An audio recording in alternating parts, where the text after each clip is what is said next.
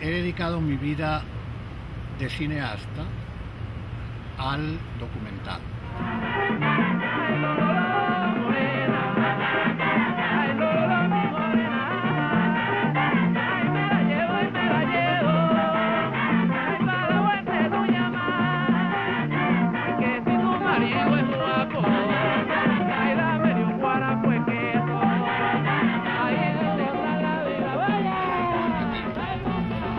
Estética ha sido representar la realidad con el mayor respeto posible.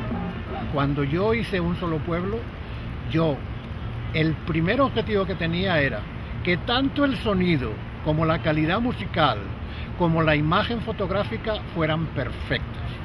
Entonces todo el sonido se grabó en el estudio. Nunca yo permití que una grabación espontánea saliera en la película, sino que toda ella fue redimensionada dentro de estudios de sonido, porque fundamentalmente la calidad de la imagen y sonido para mí son inviolables dentro de una película.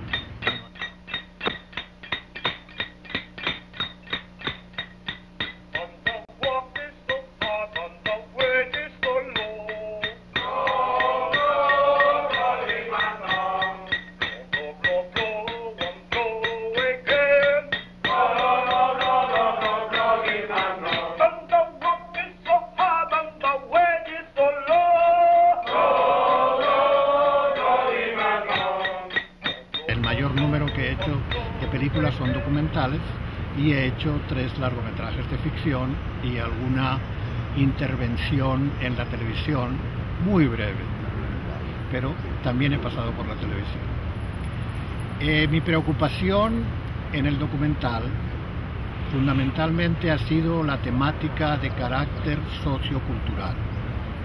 O sea, a mí me interesan mucho las películas históricas, las películas que reflejan las costumbres, las películas que reflejan los intereses de la sociedad. Por eso tengo películas que tratan sobre los indígenas, películas sobre actos culturales del teatro, películas sobre las artes plásticas, películas sobre eventos como Los presos hacen teatro, películas históricas como Juan Vicente Gómez y otras muchas, ¿no? Narváez, eh, Rómulo Gallegos, que no llegan a ser largometrajes, pero que son películas que me han interesado muchísimo, donde uno ha tratado eh, también de captar la realidad, pero de una manera muy respetuosa, sin interferir para nada en eh, el tema o en las personas.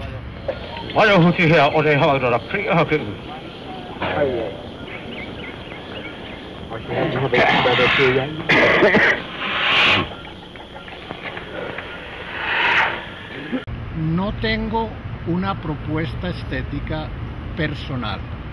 Eh, para mí, el cine que yo he hecho, siendo de carácter documental, ha tratado siempre de no interferir con la realidad que yo he grabado, he filmado o he presentado.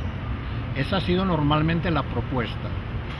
Como representante de esto, la película más importante es La iniciación de un chamán o El extranjero que danza, en los cuales prácticamente no hay nada, sino observar la realidad y después sin intervención para nada del director, el locutor actúa, en el caso del chamán José Ignacio Cabrujas, como una especie de maestro de ceremonias que va como ayudando, pero sin interferir nada en la historia que se va contando.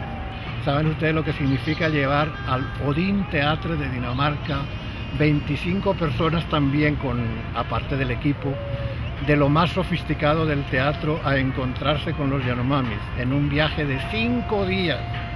Cinco días, un día de aquí a Puerto Ayacucho y cuatro días de Puerto Ayacucho hasta La Esmeralda para poder eh, llevar a todo el mundo. Y en realidad para poder filmar un solo día, porque toda la película del extranjero que danza es la unión entre uno y otro.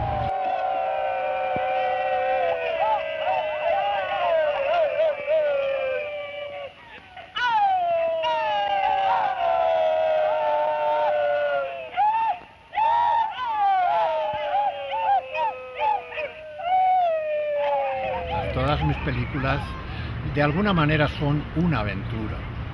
O sea, una aventura fue, por supuesto, llevar a 25 personas a El Salvador para hacer trampa para un gato de Venezuela con todo el equipo y sobre todo sin permiso, porque fuimos para hacer una película de los centros, eh, de los Juegos Centroamericanos y en realidad llegamos al aeropuerto y nos estaban esperando dos autobuses que nos llevaron a Morazán, en lo más alto de la montaña donde vivía la guerrilla y que ahí estuvimos cuatro semanas, estuvimos, teníamos eh, una visa para 15 días y después teníamos que, temíamos que en cada momento iban a llegar para, para botarnos del país. O sea, cada película que yo he hecho realmente ha sido una gran aventura. Esta es Radio Venceremos, indestructible como nuestro pueblo. El día de la victoria está cerca. He seguido más o menos la misma estética que en las películas de documental, únicamente que con mucho más cuidado para la elaboración, para la puesta en escena, con mucho más cuidado para la fotografía y el sonido. Entonces, eh, en cuanto a la forma, más o menos es el mismo tratamiento.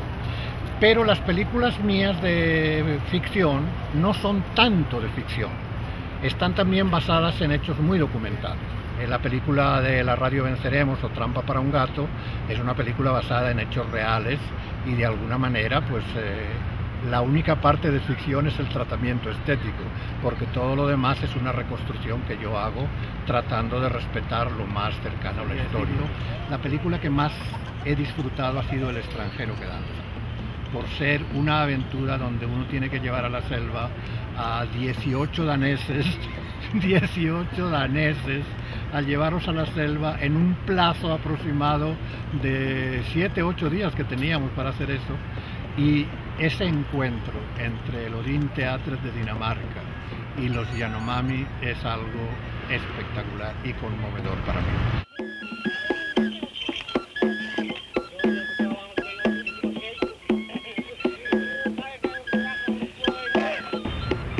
Soy Manuel de Pedro, soy profesor de cine, talleres octavo y noveno dentro de la mención cine de la Escuela de Artes y estos estudiantes me han engatusado para que venga aquí a decirles lo que les digo todos los días en las clases.